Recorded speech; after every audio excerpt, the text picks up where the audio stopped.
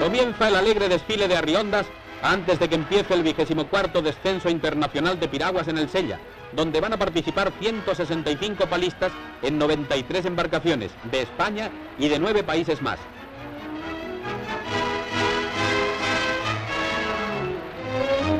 El humor y la alegría son los reyes de la fiesta. Las embarcaciones están preparadas para la salida y ya se lanzan río abajo.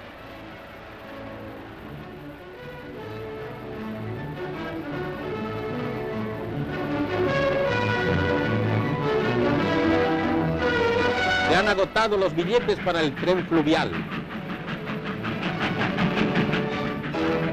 El convoy se detiene y los viajeros inician su carrera hacia las orillas para presenciar el rápido paso de las piraguas en los lugares estratégicos y disfrutar también del bellísimo paisaje.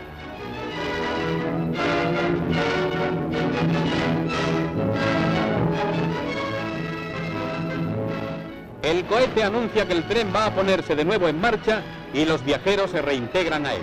Desde la primera etapa se decidieron las posiciones.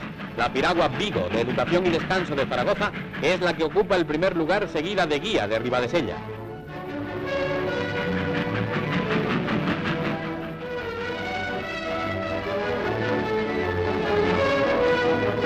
Los tripulantes Marco y Gracia han obtenido un gran triunfo al mejorar en 6 minutos y 16 segundos la marca establecida anteriormente.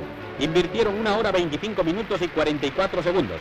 Después de los 18 kilómetros de descenso y tras salvar todos los aviones, he aquí a los piragüistas victoriosos.